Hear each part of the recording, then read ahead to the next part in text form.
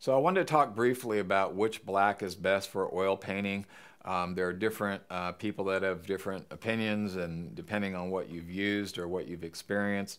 And I personally have always used a mixture of ultramarine blue with burnt umber to create all my blacks. And I've uh, long ago, I mean, by the time I was painting maybe my fifth or you know seventh painting, I had stopped using uh, any form of black and instead was using the ultramarine burnt umber mix. And in fact, the Geneva paint that we make is a mixture of ultramarine pigment and burnt umber pigment. It does not have any carbon black in it, any lamp black or Mars black or anything.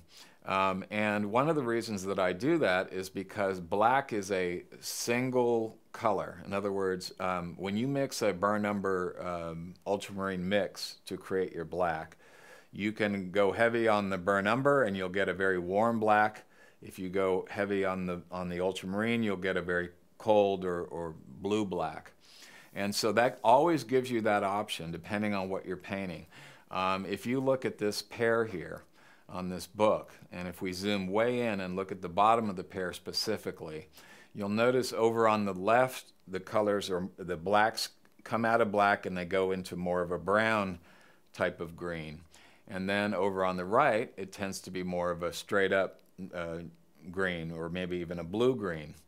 Um, and so if I'm coming out of black and I'm using my French ultramarine burnt umber uh, mix, which is what the Geneva black is, I can add some more burnt umber and go make it go in a warm direction. I can add blue and go in the cold direction. And that is always the way I'm thinking about my blacks. I don't even think about black as a single color. I tend to grab some blue and some brown, and if I want it to be warm, I'm going to be grabbing more burnt umber. If I want it to be a cold or blue-black, I'm going to grab more blue. Simple as that. And that always gives me that option. And it's not so much the way the black looks itself, but it's, it's going to be more how it mixes with the other colors. So what I mean is, let's go back to this pear. And if you look down here in the bottom, you know, the blacks are the same whether it's on the left or on the right. But as it comes out on the left, we're going to want a very heavy burnt umber mixture. So we're going to start adding burnt umber to our black to go into the orange or in the warm direction.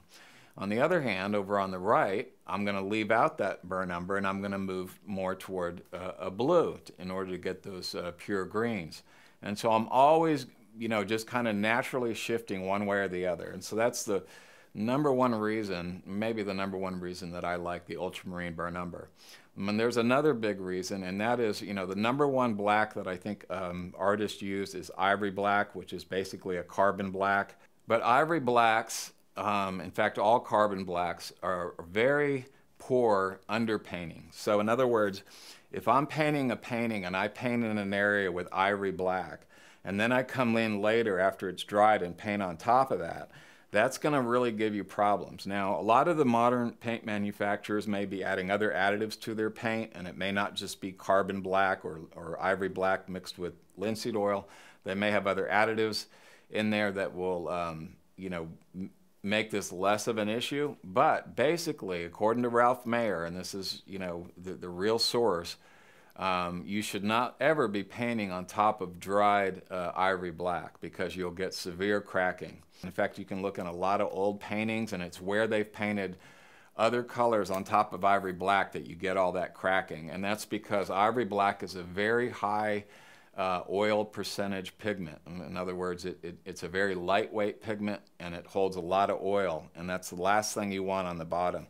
So I don't want to have to worry about that. When I'm mixing my French ultramarine with my burnt umber, that burnt umber is going to uh, greatly increase, uh, massively increase the drying rate of that black so that it's going to dry like a normal color. In fact, it's going to dry faster than most colors, and that um, makes it um, more uh, suitable to be an underpainting. Which, and, and it's not that you would ever, you know, paint your painting with black paint or even the Geneva, use the Geneva black. You would never do that. I mean, maybe you could, but uh, normally you're going to be painting on stained canvas. But the issue comes in when you're coming in with your second or third layer, or you have a painting that's dried and you want to come in and repaint a part of it and you paint something on top, you're going to have problems with cracking. So that's another reason that I like to avoid ivory black.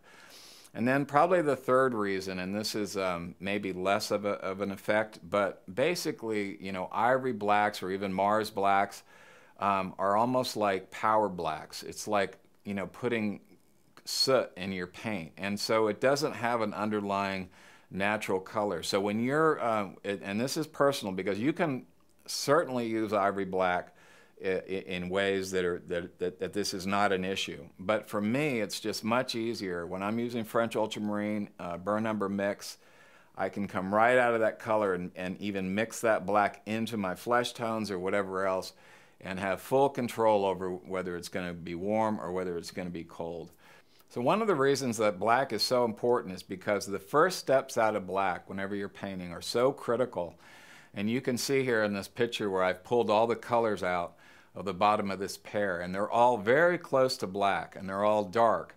And that's why your black is so important because it's not, you know, if you go in there with like an ivory black, it's so easy for, the, for all of those colors to get grayed up and, and not have the intensity of color that you see here.